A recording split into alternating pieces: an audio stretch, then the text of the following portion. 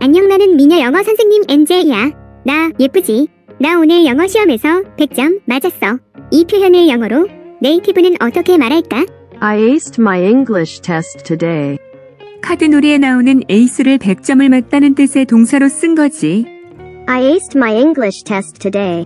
나 오늘 영어 시험에서 100점 맞았어. I got 100% on my English test today. 라고도 쓸 수 있단다.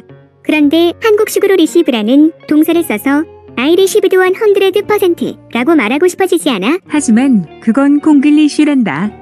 그럼 정리. 나 오늘 영어 시험에서 100점을 맞았어. I aced my English test today. I aced my English test today. I got 100% on my English test today. I got 100% on my English test today. 여기서 잠깐 퀴즈 하나. 치킨 아웃은 무슨 뜻일까? 교촌, BBQ, 치맥. 정답은 다음 영상에서